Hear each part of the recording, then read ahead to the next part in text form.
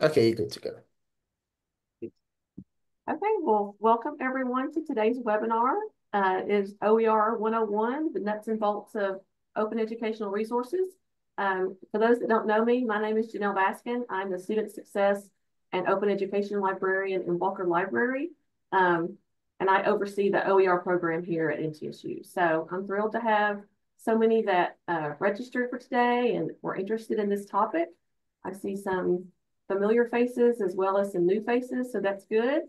Uh, if you want to introduce yourself in the chat, that would be helpful. If everybody just wants to like share maybe your name and what your role is here at MTSU so we can kind of see the different kinds of participants that have showed up today, that would be great.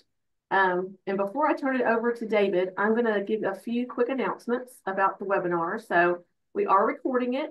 Um, it will be available later on the library's YouTube channel. So if you have to duck out in the middle, you can catch the rest of it later. Um, if you have any questions throughout the presentation, uh, please drop those in the chat. And then once we get to the end, whatever time we have left, we'll try to go through all those questions as much as we can. So please put questions in the chat. Um, I wanted to briefly share about a new uh, MTSU grant program that supports OER initiatives. Uh, that we got some generous funding this year from the provost office to, to pilot a program out of the library um, that we're calling Affordable Course Materials Grant Program. Um, let me put that link in the chat so you guys can check it out if you want more information. Um, and so that call, uh, the CFP went out October the 1st, and we're um, accepting applications through October 31st. So we still got two more weeks. So if you have an idea or if you have a question you want to chat with me about, feel free to email me. I'd love to talk to y'all about it, and we're excited about doing that in the library. So uh, lastly, I just wanted to say a sincere thank you to the LT&ITC and also MTSU Online for co-sponsoring this webinar today, helping us promote it, get the word out, and really partnering with us on, on OER has been super. So, all right. So I'm going to introduce our speaker. We're truly honored to have uh, Dr. David Wiley here with us today. Dr. Wiley is the Chief Academic Officer of Lumen Learning and one of the founders of the Open Educational Resources Movement. So, Dr. Wiley, thank you so much for being here, and I'll turn it over to you. Thank you. Thanks very much, and thanks for the invitation um, to come and share a little with you today. I was saying just before we started that um, when I was still full-time faculty, I used to teach a semester-long course on this topic, so trying to do it in an hour is uh, is kind of fun. But uh, always grateful for the chance to to talk about OER. And I also want to say that I'm particularly grateful uh, to Janelle, who took the time to send me a list of um, questions, the questions that she hears most often from people around campus um, about OER. And so I'm just going to use that list of questions that I hope are um, some of the questions that you've come kind of looking for answers to as the table of contents for today. And we'll just work our way through here. I don't think we'll take the whole time. Um, but if you do have a, a, question or a thought, either you know, feel free to either drop it into the chat. I will try to keep one eye on the chat. I'm not sure how successful I'll be. Maybe Janelle can help me uh, monitor that. But I hope that there's plenty of time for us to talk uh, at the end. So this is where we're going to start. So what does it mean for something to be open? Is there a difference between OER and open access? Open licenses, adapting and customizing and remixing, why would I want to openly license my work? How do I share OER? Are OER peer reviewed? How can they be high quality if they're free? What are OEP and open pedagogy? Shifting my class to OER seems like a lot of work. Is it worth it? What are the benefits? And then can I use generative AI to author OER? And how do I how do I find OER to use um, in my teaching? So that's where we're going to go. So I'm going to start by um, of actually embedding a play within a play, a presentation within a presentation here. Um, a couple of years ago, I was the education fellow at Creative Commons. Um, and so part of what that meant was that I kind of stomped around the country advocating for people to adopt Creative Commons licenses and explaining how they work. And as part of that role, I created this presentation, which is kind of the shortest possible introduction to OER, the five R's in Creative Commons. So I thought we would just start there. Um, in terms of definitions, uh, open educational resources here at the top. And I'll just say that um, it seems like every everyone who's ever published a paper about OER or uh, started a institutional initiative around OER has created their own bespoke license for what open educational resources are. Um, and the definition I'm using here is the one that is uh, used by the Hewlett Foundation, which is for 20 years now been the primary kind of philanthropic funder of work in OER, as well as Creative Commons and, and a couple of other big organizations. But open educational resources are materials that are either one, in the public domain, or two, licensed in a manner that provides everyone with free and perpetual permission to engage in the 5R activities. Okay, we'll talk more about the 5Rs in some detail below. Uh, but Creative Commons is an organization, a nonprofit, that creates copyright licenses that are very easy for a copyright holder to apply to their own works in order to grant uh, these permissions to others, as long as uh, those other people meet specific conditions. So that's a quick overview. We'll do more detail here. Okay, so this is the definition that we just talked about. Um, either being in the public domain or being licensed in a particular way. So open educational resources are all about copyright. Uh, an open educational resource is a resource that's either in the public domain, which means it's not protected by copyright at all. Either its copyright has expired, or perhaps it's a work that was never eligible for copyright protection, or it's a work that is copyrighted, but that has been licensed in a way that gives you permission to do these things that we call the 5R activities. And the five R's are just a shorthand way of remembering all the specific activities that a license has to grant you in order for a resource that's licensed that way to be considered an open educational resource. We know what educational resources are, right? Things like textbooks or uh, journal articles or essays or photographs. So th there are lots of things that we can use educationally. But for it to be an open educational resource, you have to be permitted to engage in these five very specific activities. Okay, so the first one and the most fundamental, the kind of foundational R is retain. You have to be able to make, own, and control a copy of the resource. So we're not talking about something um, like a movie that you would watch on, on uh, Netflix or a song that you would listen to on Spotify um, or even most journal articles that you'd access through a um, you know library subscription. Those are materials that you have access to, but um, generally speaking, they either make it difficult or impossible for you to make a copy that you own, you download, you control, you can do anything you want to do with it for the rest of your life. Um, more and more media are moving to this kind of subscribe and access model as opposed to a own your own copy of a resource kind of model. But that's foundational. You have to be able to do that. Once you've made a copy of a resource and downloaded it to your computer, then you have to be able, you must have legal permission to do these other four things as well, which is, so revise means either to edit it, adapt it, modify it. That could be translating it into another language. It could be adjusting the reading level um, to work with students who are at a different reading level. It could be changing it from uh, you know, a text resource into some interactive resource. Uh, revising is all about editing and adapting and modifying. Remixing is about taking one resource and one or two or three or six other resources and combining them into a mashup to create something new.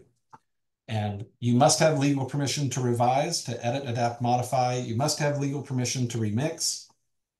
And once you've revised and remixed, or even if you haven't revised or remixed, you must have permission to take your copy and then go out into public and display it, show it, perform it, all, all the kinds of uh, performance rights around copyright.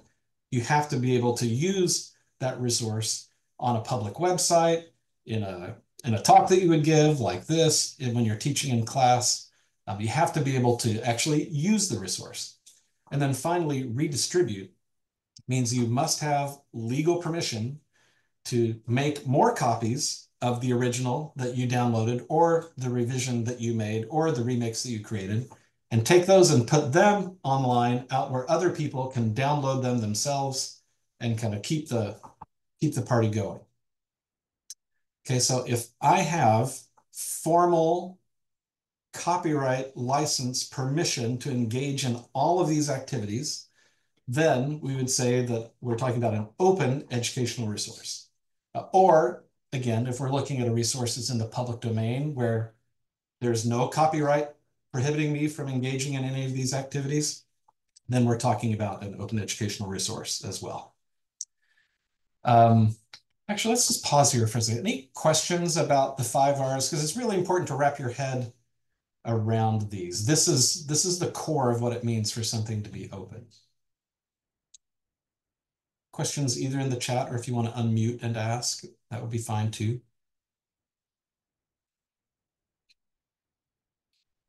Okay. If something comes through in the chat, I'll try to watch out for it.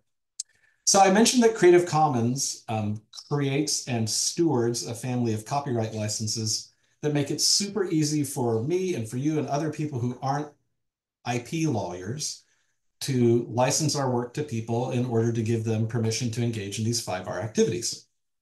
Um, as of 2021, there were over 2 billion works uh, that had been licensed with one of the Creative Commons licenses. And I believe now, I just heard that that number is up to two and a half billion as of the most recent count.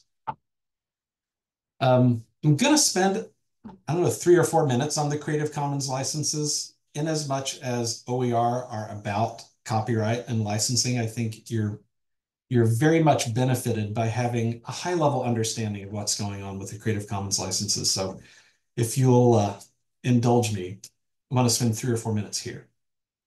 So there are six Creative Commons licenses.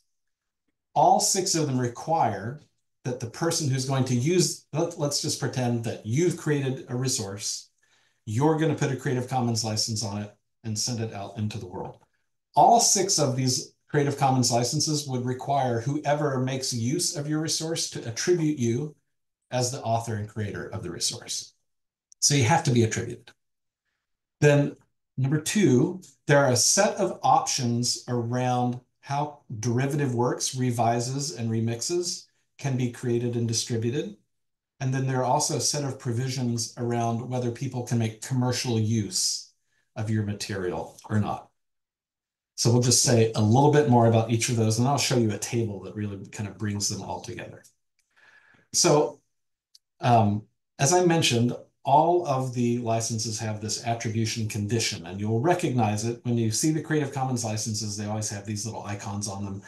And this one of the person just represents the idea that you have to give credit back to the person who's the original creator. So if I had created uh, an open uh, textbook and put a Creative Commons license on it. And let's say that you were going to distribute that to students in your class. Somewhere you would need to attribute me as the original author. That's a requirement of the license. And if you don't do that, then you're actually violating copyright law because the copyright license says you have permission as long as you do these things. So you have to attribute the original author. Derivative works um, are making this is a this is a jargon, a, a technical term in copyright land. Um, it's not just making any change to a copyrighted work. It has to be a fairly substantive change. It has to be a change that is significant enough that you deserve your own new copyright on the thing that you've created. So a clear example of a derivative work would be making a book into a movie. Obviously, so much goes into making a movie. The movie deserves its own, deserves its own copyright independent of the original book. We're translating an essay from one language into another. Ton of work. Um, and the new, the version of the essay in the new language would be deserving of its own copyright. These are derivative works um, when the Creative Commons licenses talks about them. Um, things that are clear non-examples would be correcting punctuation errors or spelling errors, doing that kind of technical editing isn't going to result in a new copyright for you as a technical editor. Or converting a written essay from PDF into an HTML format, that's not going to result in new copyright for you because you haven't really done anything significantly creative to change the work. So with regard to derivative works, the Creative Commons licenses give three options, and you as the person who's applying a license to the work that you own the copyright to, you can choose which of these um, you know, makes you happiest. The first is if there's no mention of derivative works in the in the license that you choose, it means that anyone's free to create and share derivative works and, and do whatever they'd like.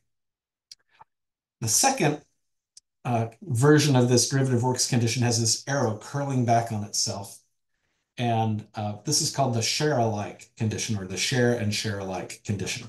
And it means that if, if I publish a work and I license it under a license with one of these share alike conditions, and then you take that work and you do something really amazing to it and create your own derivative work, you are required to license your derivative work in the same way that I had licensed my original work. That's what the share alike condition means.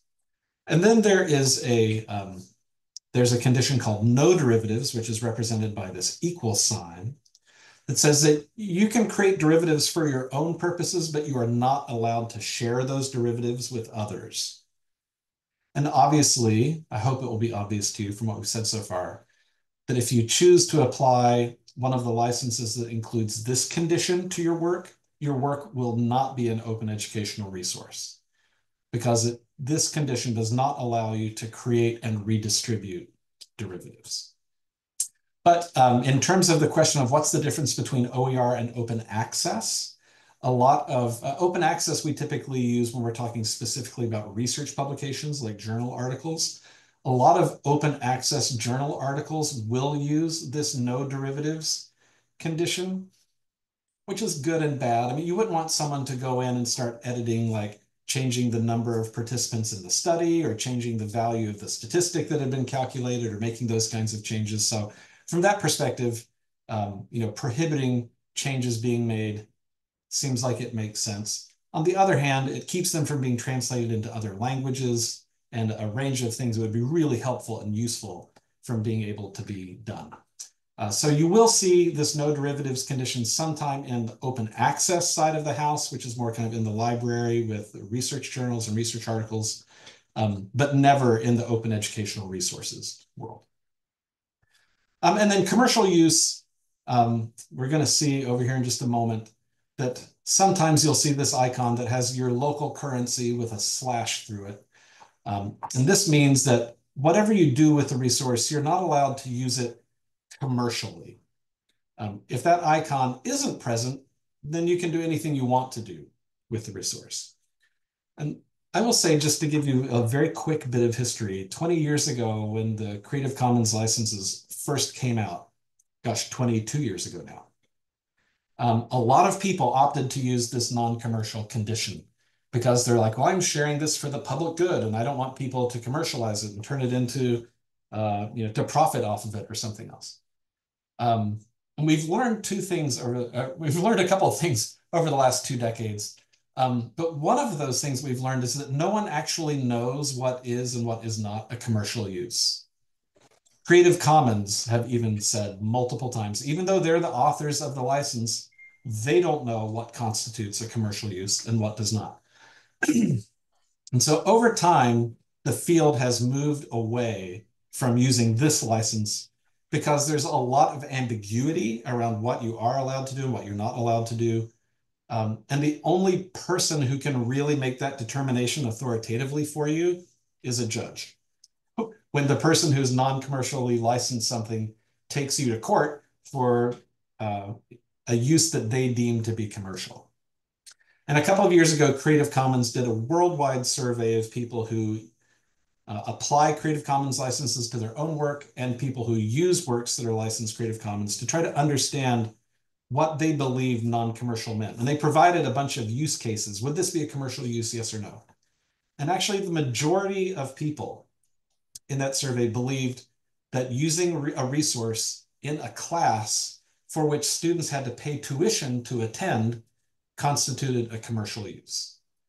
Um, now, obviously about half the people don't feel that way, but it turns out many people do feel that way. Um, most of us teach at institutions where tuition is required. So like I said, over time, uh, you'll see fewer and fewer works using this non-commercial condition. So this is how those conditions all come together to create the six Creative Commons licenses. As I said before, all the licenses require attribution. So on these, so on these little badges, you'll see the little person here on each of them. And the little abbreviation for that is by, as in this work was originally created by. Um, so all of them require attribution, but then there are, you know, there are these three that allow commercial use. You'll see the dollar sign with the strike through it is missing. And then three that prohibit commercial use. You'll see the dollar sign with the strike through is there right? And then in terms of derivatives, if we look at this first column, these first two licenses, you can create derivatives, share them, do anything you want to do with them. In the second column, you can create derivatives and then share them, but only if you share them under the same license as the original. And then in this third column, derivatives cannot be shared at all. So as you look at all this, you think, my gosh, there's a lot going on here. This is really confusing. You'll understand why over the last 22 years, the field has really coalesced around this license, which is called the attribution license, whose only requirement is that you attribute the original author. You can do anything you like as long as you just attribute the original author. That's the Creative Commons licenses in a nutshell. If we think about them and how they kind of work with the five R's, then you'll see that the attribution license requires you, definitely allows you to engage in all five of those R's as long as you attribute, as does this by SA license is the share alike. Um, as long as you're sharing your revises and remixes under this same license, um, you can do all the five R's. And then non-commercial starts creating questions about we are, what we are and aren't allowed to do. And no derivatives says that I can't really share my revises or remixes. Uh, but the key thing to take away is that 22 years of tens of thousands of people licensing work under CC licenses is that the majority of us, at least in the open educational resources space, have coalesced around this attribution license. So for example, um, Lumen Learning where I work, we license everything that we create under the attribution license. The other licenses, our experience has been, it's just kind of too hard for people to wrap their heads around. They don't really know what they are and aren't allowed to do and when and under what conditions. Um, I think, I think that's kind of repetitive. I think we've said that. Okay, so that's a little bit about the definition of OER, the five R's, revising, remixing, um, some things like that. Hey, Dave, can I ask a short question? I wish you would. I'd be glad to. So first of all, so glad you're here. Um, Thanks, I, I, so I actually had I had like three questions, but the first one was which R do you see most commonly excluded or abused of the five R's? Most commonly excluded? Yeah, or you know, not maybe not considered, something like that. Well, I would say that people. Um, so for first, um, when I first published this framework back in the 2000 aughts, sometime 2007, 2008, it was only these bottom four. Um, because we we were still living in a world where people mostly kind of owned private property.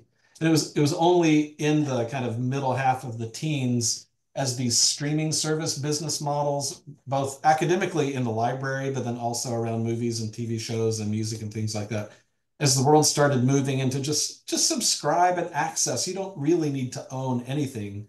As that became more prevalent um, it became clear that you can't do any of these other four if you can't do this first one right?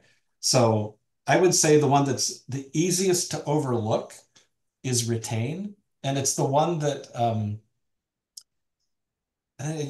you know, back in the day, you could just come up here to the top left in your web browser and hit File, Save As, and download whatever file you were looking at. But it seems like um, people have gone to great technological lengths to make it hard for you to do that, um, especially when they're, you know, if there's some copyrighted resource that they're trying to maintain control over.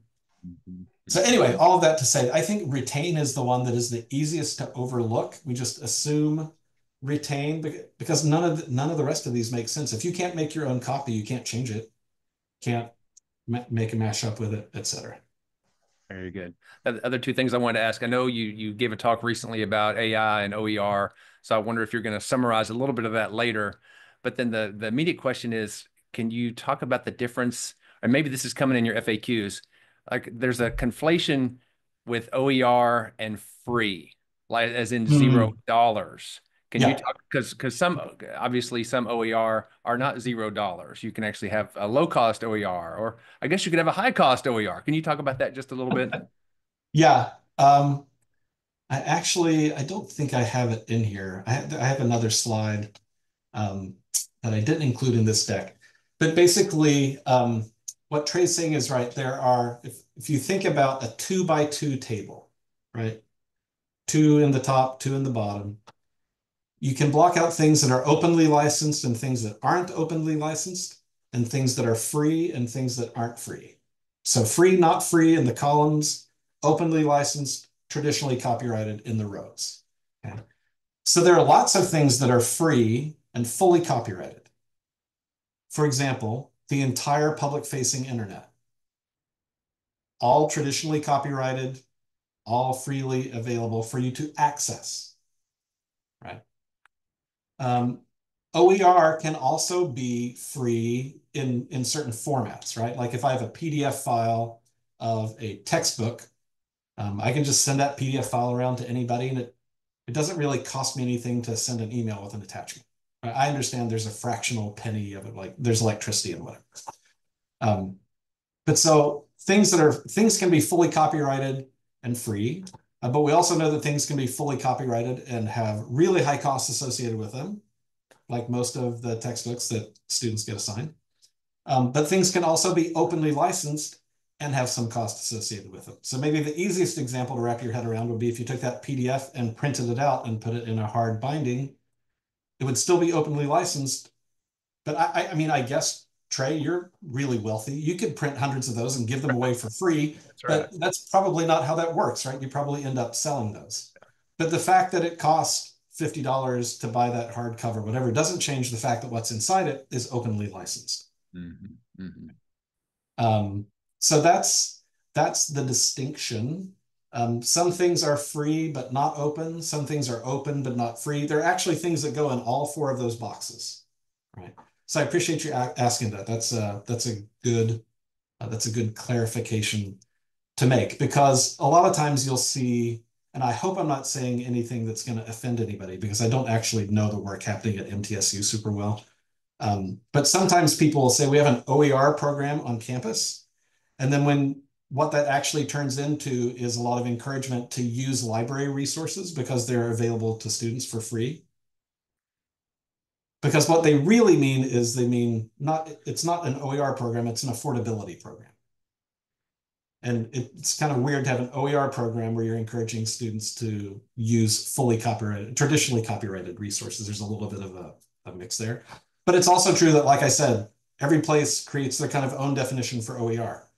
So if the local definition for OER is thing is anything that is free or low cost, then you know then library resources would fit into that definition too. So it I don't mean to be super kind of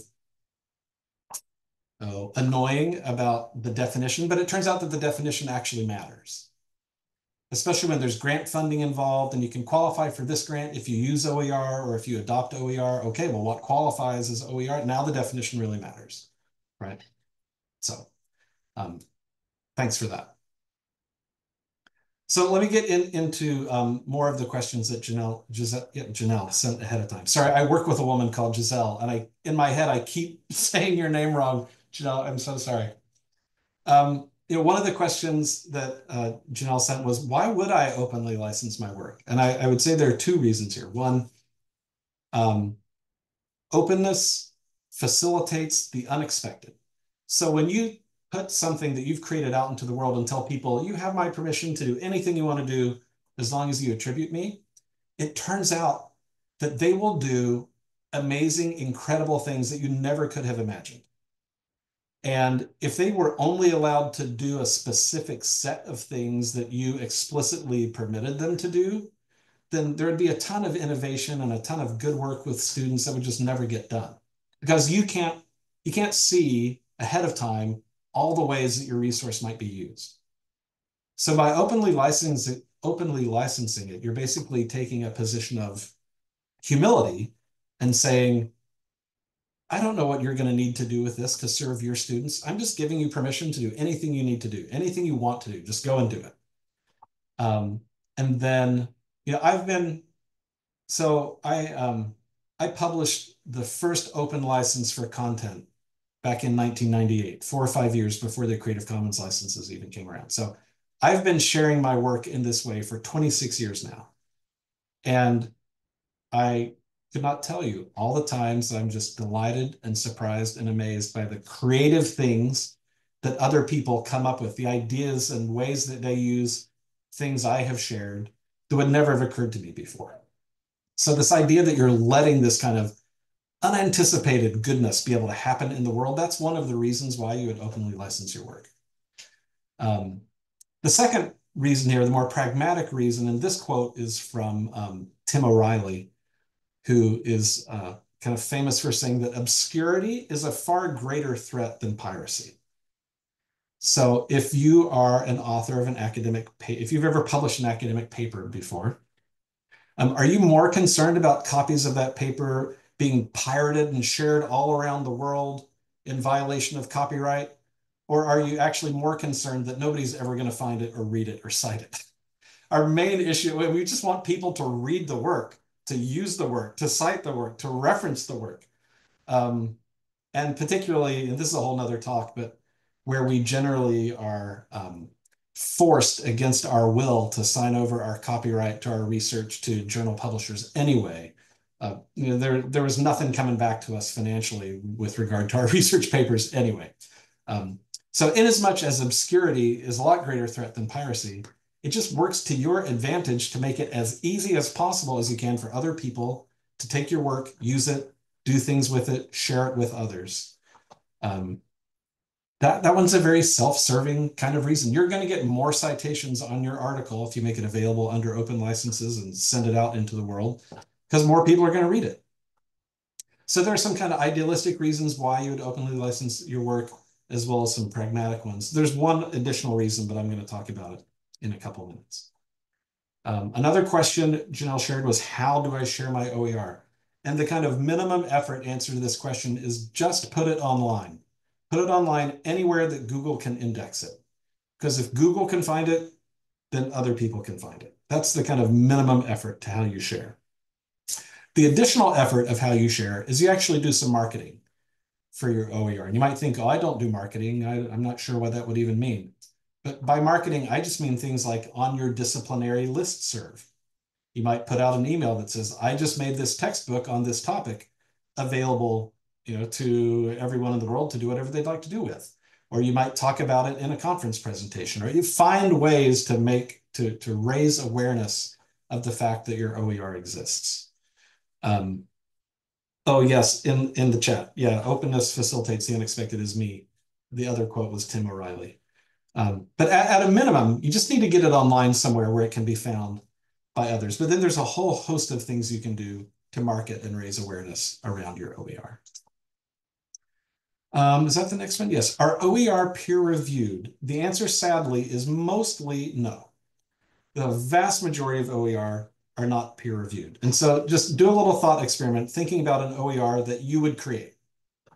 So you're teaching a class and you want to do some activity with them. So you create a resource and you say to yourself, hey, I bet other people would enjoy using this resource too. And if I shared it, it would save them some time. So I'm going to publish it. Before you publish it, are you going to say, you know what I really need to do is have three to five other people peer review this resource, uh, you know, and I want to go through this process before I'm going to share it and publish it on Google. No, that's not what you're going to do. So um, mostly, no, the vast majority of OER are not peer reviewed. But if peer review is important to you, then you can look for OER that are created by larger organizations that have more, um, I don't know, you'd call it, have, have publication processes that look more like a traditional publisher would, like an OpenStax or a Lumen. Um, there are OER that are peer reviewed. It's just that 99% of them are not. But hopefully, when you find an OER that looks good to you, and you're thinking, oh, I could use this in my class, then you would review it yourself. And you would decide whether it met your needs or not, rather than assuming that somebody who teaches a different kind of student at a different kind of institution who did a review somewhere else can really tell you whether it's good for you and your students in your situation. How can OER be high quality if they're free? Well, first, I want to give what I will acknowledge as a slightly obnoxious answer to this question. And that is, to me, high quality learning materials means learning materials that are highly effective at supporting learning. That's what it means for learning materials to be high quality. So OER can be high quality the same way that expensive materials can be high quality. They just have to be designed in accordance with instructional design principles and learning science research. And if you do those things, then whether you're charging a lot of money or no money for your OER, they can be highly effective at supporting learning. Now, and I, I worried that this sounded like it's some kind of negative statement, but I don't mean it that way at all. But if by high quality what you mean is they're they're factually accurate, then you're not really talking you're you're really talking more about reference materials than you're about educational resources. Right? Because educational resources need to have pedagogical features like learning objectives and advanced organizers and formative assessment and things like that. That's an educational resource.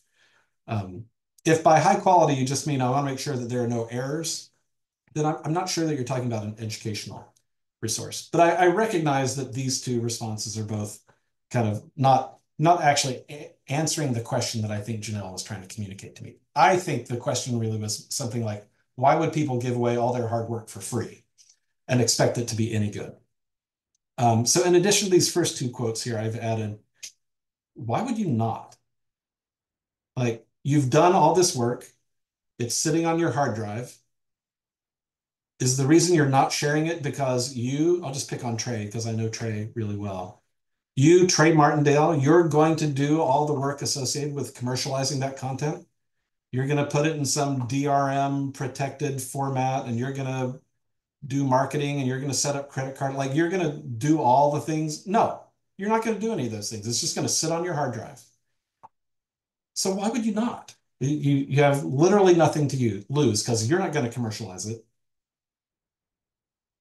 Um, I mean, maybe in some cases you might. And if you're going to, then that's awesome. Go ahead and do that. But if you're not going to, you really don't have anything to lose by sharing. You only uh, stand to benefit because people will do things with your resource. And a lot of the things they'll do will just be super interesting and amazing and awesome for them in their context. But sometimes they'll do things to your resource that make it better also for you. And now your resource has been improved with no effort on your part. Go and ahead. Dave, and Dave, if you had to estimate how how what percentage of let's just say in North America, North America's amount of created educational resources over the last 20 years that are not and really couldn't be commercialized but are still worthwhile. You know what I mean? What yeah. what percentage is that? I would think it's 90, 95. 99, 90. I mean, mostly people create educational resources because they have a need themselves. Right? So if you create it, it's at least good enough. It's at least fit for purpose for you and what you want to do. If it's good enough for you and what you want to do, there are probably other people in the world similar enough to you that it would it would work for them as well. Right. And um, man, the amount of effort that it takes to commercialize something is just it's so crazy. But yeah, it's it's the overwhelming majority. You know, to your point, totally agree. Okay, part three. There's some questions about open educational practices and open pedagogy. I'm not going to answer that specific question for the following reason. If you were to do a literature review uh, to go scan the, all the literature related to open educational practices, or to scan the literature related to open pedagogy, what you would find again is that basically every article makes up its own definition for both of those terms. And so something like um, collaboration is an open educational practice according to many definitions. Well, I'm pretty sure we were collaborating before open even became a thing. I don't know why that counts as an open educational practice. You can tell by now I'm a little hung up on definitions. Um, so both of those terms, I, I think I know what they're trying to mean, but a couple of years ago, a colleague and I published a paper. It's open access, so you can read it. It's about OER-enabled pedagogy, in which we said, everybody's using these terms to mean a million different things. We're going to pick a completely different set of words, define it very clearly, and now some research can be done around it. Because when everyone, like, imagine trying to do research in engineering if every person who published about steel mixed it in a different way. Like, you must have consistent definitions for science and results to be able to accumulate going forward. So if, if OER is all about copyright, right? If an open educational resource is something that's either in the public domain or it's licensed under an open license, what could that possibly have to do with pedagogy? Here's the answer. We learn by doing. We learn by doing. And if anybody wants to argue that point, we can stick around later and argue about all the things you can learn by not doing anything. But I think actually we all agree that we learn by doing. If you accept that we learn by doing, it's absolutely the point that copyright restricts us from doing certain things. That's what it's there to do. It's to keep us from making derivative works and redistributing and doing those things without the permission of the rights holder. So if we learn by doing, and if copyright restricts what we're able to do, then that means copyright restricts the way we're able to learn. Now, open licenses give us permission to engage in those activities that copyright prohibits. Therefore, OER enable us to learn in new ways. So when I say OER enabled pedagogy, what I mean here is this blue, the things that you can do with OER that you can't do otherwise. So what's an example of that? An example of that is um, uh, many years ago, I taught a class on project management that was focused specifically on instructional designers. And there is no textbook called project management for instructional designers. It's just too narrow of a niche. But I was able to find an open textbook on project management written for the business school context. And what I did was over a series of semesters, I and my students together rewrote the textbook to make it so that all the examples are about instructional design, all the case studies are about instructional design. Then we started expanding it out in some other interesting ways. Students went out and found practicing instructional designers and video recorded them. And now we have, there are three videos in every chapter in this book of practicing instructional designers talking about their experiences. Another group of students went through and mapped, mapped this open textbook where, where am I going? Here we go. Map the open textbook to the project management body of knowledge. This is kind of the official study guide for the project management professional certification. So now you can use this open textbook to study for the certification exam because a group of students did that mapping. But we took this book and over a series of terms, we just, we rewrote a lot of the content in it together and we keep republishing it. And it's out in the open now where anybody else can use it. You could not do this with a traditionally copyrighted textbook. You couldn't make the changes, you couldn't distribute the changes. So this, this to me is kind of the quintessential example of uh, OER-enabled pedagogy. It's the things you can do when you have the 5R permissions that you can't do when you don't have the 5R permissions. All right. Shifting to OER. Um, so there's a question that was, is shifting to OER hard? And the answer is, it used to always be hard. And now sometimes it's easy, but sometimes it's still hard. But it depends on what things look like for you. So just to give you a little bit of backstory here, from, from 2010 to 2012, and then again from 12 to 14, the Bill and Melinda Gates Foundation funded some work that I and a couple of my friends did called Project Kaleidoscope. And the purpose of Project Kaleidoscope was to deal with the fact that lots of people were publishing OER, but no one was adopting OER. There's lots of it being shared, but the old saying was OER is like a toothbrush. Like, I don't want to use anybody's but mine. That would be weird. Um, so in Project Kaleidoscope, we brought together faculty from 30 institutions from California to New York to really understand what was making it hard for them to adopt OER. And then, even more so than now, um, most of the OER that were being published were just kind of books. Here's an openly licensed textbook. And it turns out that things that faculty were concerned about were things like Where are all the supplemental materials that I get with my textbook from the publisher? Uh, where's my automatic grading and syncing of grades into the gradebook? Who, when Pluto is a planet and then it's not a planet and then it is a planet again, who's in there updating and maintaining all these resources? And who do I call when I have a problem? Where's where's my support person? So at the beginning of that second grant from the Gates Foundation, that's when uh, Kim Thanos, who's my co-founder at Lumen and was one of the people working on uh, Project Kaleidoscope with me, that's when we created Lumen. And basically what we did in Lumen was we took that work and kept doing it to identify and really clarify and then try to eliminate barriers to OER adoption. So, and now we only work in high DFW rate gateway courses. That's Lumen's kind of in a pretty small box, 25, 30 courses.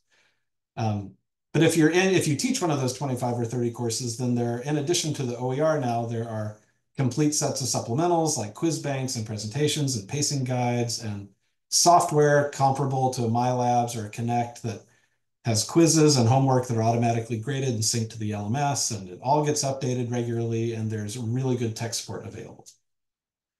Um, so if you adopt OER that has this kind of support behind it, it's really pretty easy. Um, just to brag about Lumen for a minute, you know, yesterday was our 12th birthday. So happy birthday, us. And, you know, in those 12 years, over 15,000 faculty and 2.3 million students have used our OER-based courseware as their required course materials. So it must be fairly easy to make the switch because lots of people are doing it.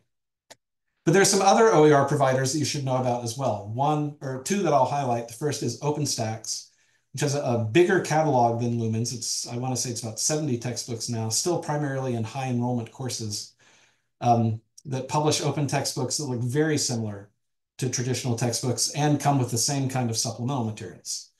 Um, although if you want like a MyLabs or a Connect kind of experience with automatically graded homework and support and things like that. OpenStax relies on partners like Lumen and others to provide that. Um, the other one I would point you to is the Open Learning Initiative out of Carnegie Mellon, which has a much smaller catalog that's really focused in the STEM disciplines, but the courses are much more interactive. Um, the work in chemistry in particular is really great. I'd highlight that.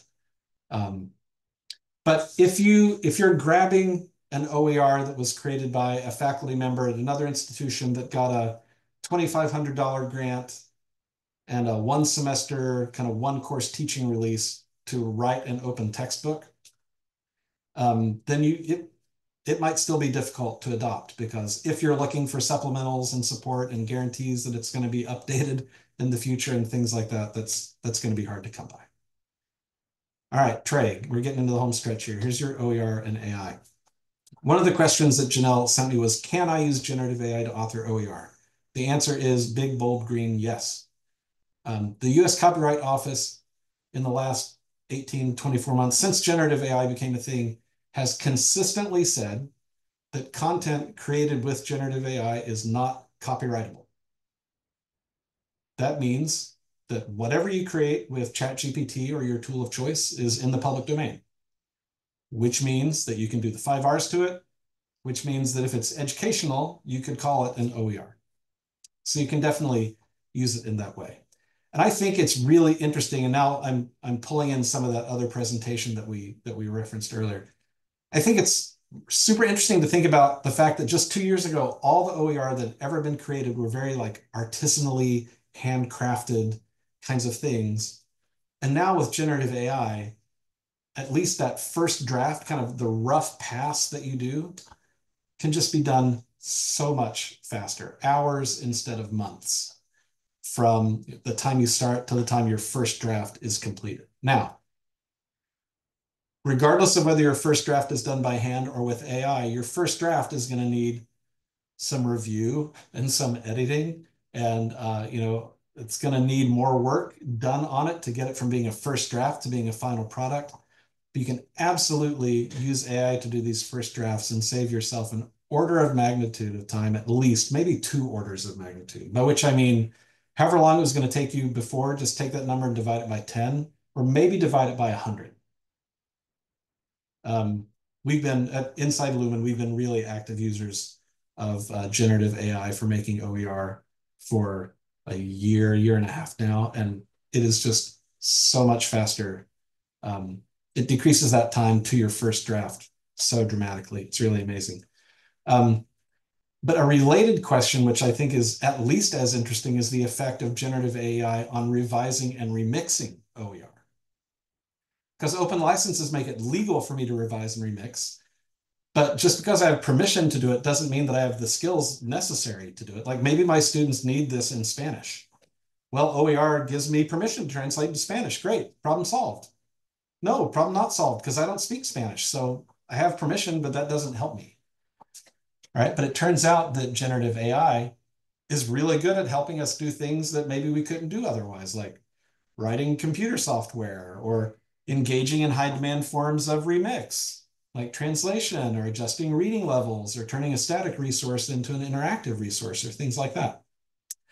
So as we think about kind of the future trajectory of what I'll say is traditional OER, or OER as we've known it for the last 26 years, um, I think generative AI has a really interesting role to play in making it easier and faster to author drafts, as well as easier and faster to author revises or revisions, I guess is the noun form, uh, and remixes that you couldn't do otherwise. You couldn't do yourself, but now you can get to that first draft yourself. You're still going to need help on all the post first draft uh, pieces of that. But I also think there's an interesting kind of parallel point here about Gen AI enabled pedagogy, similar to OER enabled pedagogy. And this would be the things you can do with generative AI that you can't do otherwise. So what's one example of that? So typically when we teach um, fully asynchronous online courses, we don't ever give synchronous collaborative assignments like to do a think, pair, share. You would never do that in a fully asynchronous online course because there's never any time that I'm together with anyone else to pair and to share.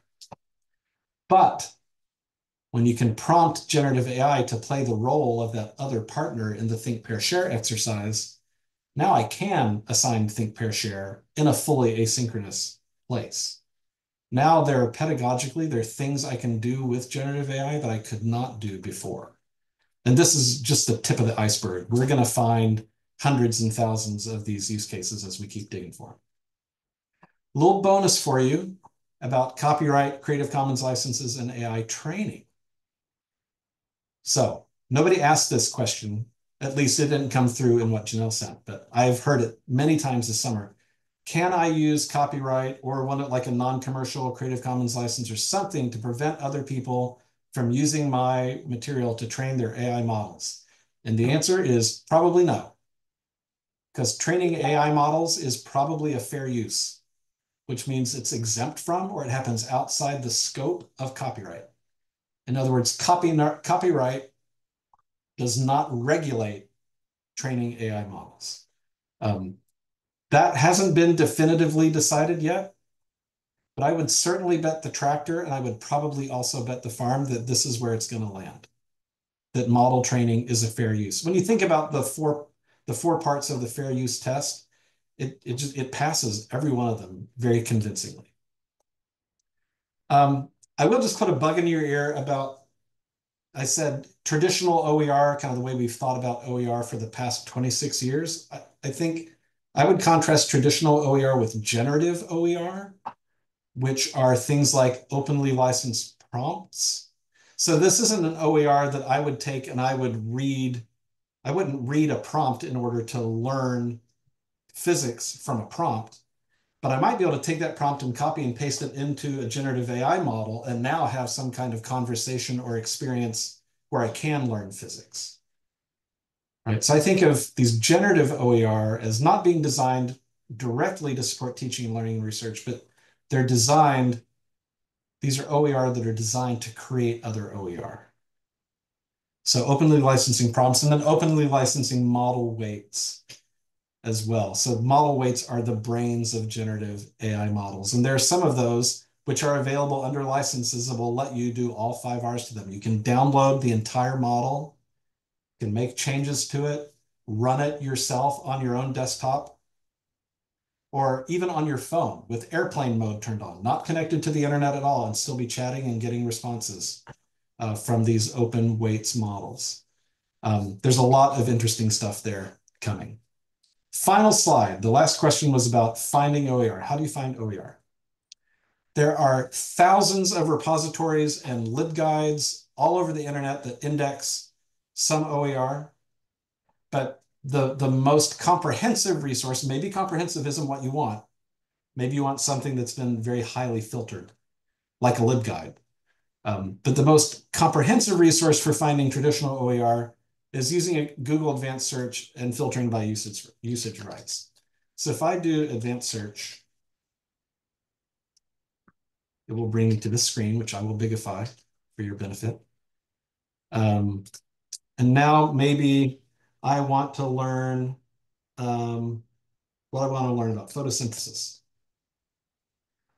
So if I just hit enter now, Google is going to do its Google thing and find me all the web pages about photosynthesis. But if I come down to the very bottom and say I want to filter by usage rights, and I only want you to show me things that are licensed so that they're free for me to use, share, or modify. You see how these correspond to the Creative Commons licenses?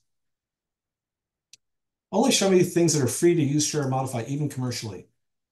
Now, Google, you know, if I click next enough times down at the bottom, Google is only going to show me things about photosynthesis that are licensed under an open license and that I'll have these permissions um, you know, to engage in the 5R activities with regard to those. Google indexes everything, everything that's indexable. So that's, that's going to be your most comprehensive resource.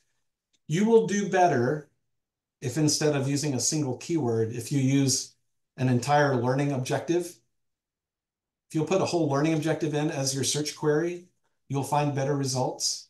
If you're looking for a video or an image or a, a textbook or an essay, add that word to it as well, and that will also help. And then the last little B that I will attempt to put into your bonnet is to suggest that ChatGPT is an OER repository.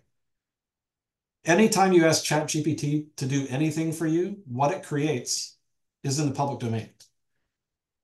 So instead of hoping that someone in the past already created a resource and openly licensed it and put it out where Google could find it and that you're going to be able to find it through the Google index, instead of running that whole gauntlet, you could just tell ChatGPT, I need an explanation of photosynthesis appropriate for 10th graders. And can you please figure out some way to use football as an example?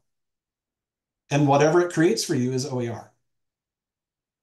So thinking about ChatGPT as an OER repository, pretty interesting as well. So that's my OER 101. I tried to answer all the questions that Janelle sent me. We've got a couple minutes, and I'd love to um, love to answer any more questions that you thought of as we were talking.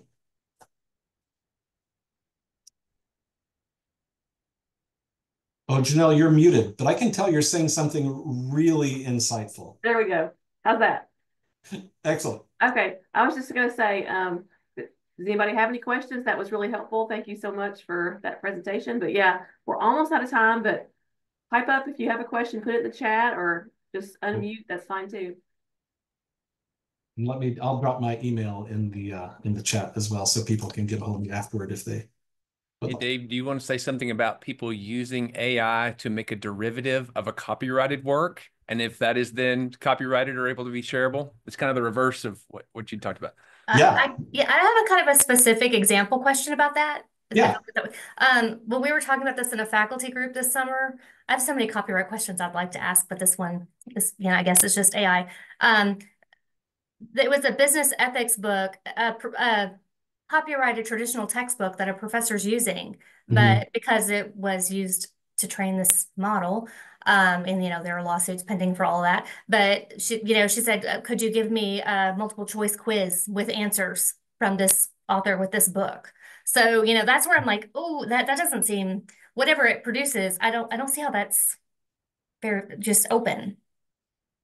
Yeah, so so there are ways there are ways that you can trick models sometimes. You can trick them into giving you something very close to the data that they were trained on. it's important to understand that when an AI model is trained, there is no content stored anywhere. There are hundreds of matrices. If you ever took any linear algebra, you know, a matrix is like a square box with numbers in rows and columns. A generative AI model is hundreds of matrices of numbers, and there is no content stored anywhere. That's not how they work. Um, so it's not possible for them to just go into their database and pull out you know data that they were trained on and just give it back to you. You could, as you train a generative AI model, every document that you feed through it, you can delete that document when you're done. The content does not stick around. All that is left are weights, which are similar to like the beta weights in a linear regression if you've done any like regression statistics. Um, but it is possible to sometimes kind of trick them into giving you something back that's very similar to the data that they were trained on. In the same way that if I said, Trey, answer honestly, repeat the following sentence. Mary had a little lamb, its fleece was light as. I can I can trick Trey into saying snow by doing that, Tim, right? Um, so yeah, if it turns out, as I um, as I hypothesized earlier, that training right. really is a fair use, um, then there are going to be a bunch of second level additional interesting questions to answer um, related to the question that I've I've lost you now. Oh, Suzanne, um, that you just asked. Oh, thank you. I I don't think to kind of tie that one to Trey's question. When you've got an existing copyrighted work, if you were to cut and paste that copyrighted work as part of your prompt into a model and try to get it to create a derivative work, then you're going to have problems. Um, it's not, in fact, uh, about a year ago, I got on the phone with the, um, wait, are we still recording? I don't think I'm allowed to say this out loud. Um, let's just say that I consulted someone who's a lawyer who's very knowledgeable about open licensing and about what's going on in AI. And my question was, hey, I did I just find a way to jailbreak a bunch of content that's copyrighted and turn it into public domain content? Asking exactly the question that Trey just asked. And as we talked through that, um, you know, what the courts have said is that content that is generated by AI is not copyrightable, but they haven't actually said anything yet about what happens if you try to take a copyrighted work, use it as part of your prompt, and actually generate a derivative work based on that. And I think the broad consensus on that is that that would be a derivative work for copyright purposes. And so if it was licensed attribution share alike, the original content, whatever came out the other side of that, you would still have to license attribution share alike because that would pull through in the creation of the derivative. But when you ask ChatGPT or any other model, write me a poem about rainy days in the voice of a pirate, or when you just have it create content, whatever it creates is not copyrightable. Um, the Copyright Office has been really clear and consistent about that.